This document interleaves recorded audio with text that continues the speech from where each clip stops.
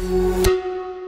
Jury selection for former President Donald Trump's hush money trial begins today, marking the first criminal prosecution of a former U.S. president.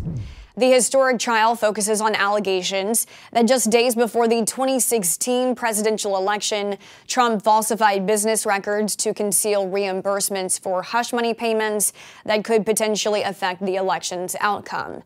Trump has pleaded not guilty and claims the trial is a witch hunt. Well, you know, jury selection is largely luck.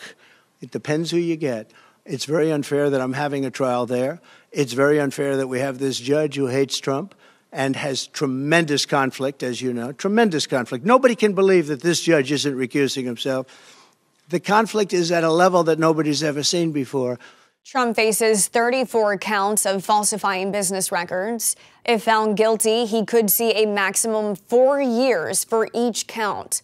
Jury selection is expected to last at least a week.